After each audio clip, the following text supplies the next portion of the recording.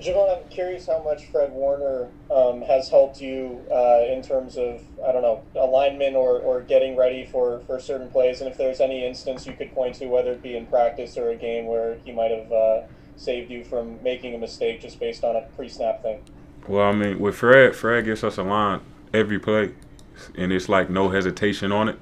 So that definitely helps out a lot when knowing where to go at, you know, and on certain things we that we do, he gives certain calls so you know what to do, you know, and he's very vocal, you know, like you always gonna hear Fred, very very vocal. So that's a big that's a big uh that's a big part. Javon, now that you've started to watch some Seattle film, what are the biggest challenges when you're facing Russell Wilson, and what are your goals now? Now that you're seven weeks into the season. Um, well, it's really my first my first time today, really getting to see and getting an eye on on the uh, Seahawks. So I'm still trying to, you know, still trying to figure some things out about what do I see and tendencies and things like that. So maybe I ain't gonna lie, you should have asked me that tomorrow or something. so, cause I mean, I don't really, I can't really say yet, you know.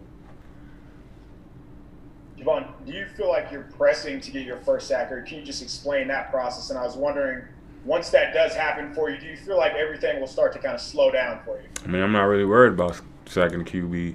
I'm just worried about just just getting a win. Honestly, you know, all that stuff comes with comes a part of you know playing D line and doing trying to get the quarterback and things like that. But the main thing is to win, and of course, gotta just trying to learn, still learning how to play good technique. You know what I'm saying? So, I mean, the sack they're gonna come. You know, they always gonna come. But um, right now, yeah, I'm still in the phase of just trying to play good tech, play with good technique, play good football.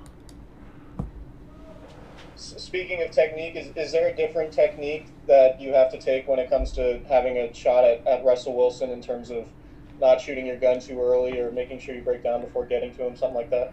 Mm-hmm. I mean, honestly, in these games, I ain't even been shooting my gun. So I mean, maybe this game I shoot my gun. Who knows? I don't know. They're missing a lot. All right, guys. Thanks, Javon.